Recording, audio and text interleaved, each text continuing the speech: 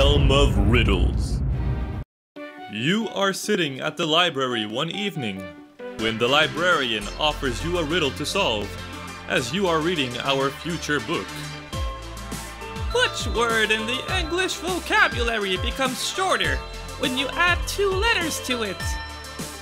Pause the video now to solve the riddle for yourself.